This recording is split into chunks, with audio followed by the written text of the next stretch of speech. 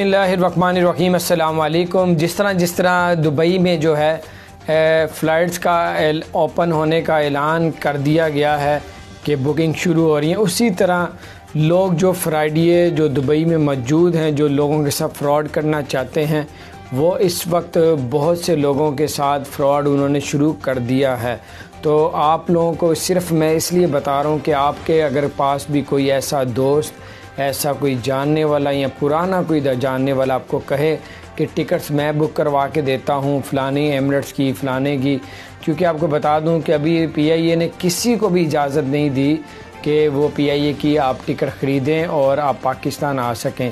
Number one, آپ کو پی آئی اے صرف ان کو فون کر رہا ہے جنہوں نے رجسٹریشن کروائی ہے، وہ پھر آتے ہیں تو پھر ان کو ایک اور جگہ بھیجا جاتا ہے۔ وہاں پہ وہ پی آئی اے کے دفتر میں جا کے پی آئی اے کی ٹکٹ خریدتے ہیں۔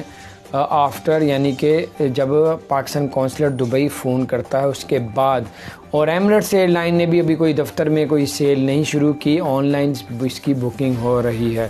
تو اگر کوئی شخص آپ کو کہتا ہے کہ بھائی میں آپ کو فلانے ایئر لائن کی ٹکٹ لے دیتا ہوں، میری پہنچ ہے یا میں پہلے ٹریول ایجنسی کا کام کرتا رہا ہوں تو اگر کوئی ایسی باتیں کریں، آپ سے پیسے لینے کی کوشش کریں، چاہے سو درم، دو سو درم، تھوڑے تھوڑے بھی لے سکتا ہے، کوئی دس، بیس بندوں سے ٹکٹ کے پیسے بھی لے کے جا سکتا ہے۔ اور وہ آپ سے صرف فراڈ کرنے کے لیے آپ کو یہ باتیں کرے جو آپ کو کہے کہ آپ ہمیں، میں ٹکٹ لے کے دوں گا، اس کا مطلب اس کے دماغ میں کچھ فراڈ چل رہا ہے۔ کیونکہ دبئی سے بہت زیادہ خبریں آنا شروع ہو گئی ہیں۔ اس لیے میں نے کہا اب تک بات پہنچنی چاہیے کہ پہلے آپ لوگ اتنے پریشان ہیں۔ اللہ تعالیٰ آپ لوگوں کے لیے آسانیاں پیدا فرمائے۔ اور میری دعا ہے کہ آپ عید سے پہلے پہلے پاکستان آ جائیں تاکہ آپ اپنے گھر والوں کے ساتھ مل کے عید منائیں۔ اپنا خیال رکھیں۔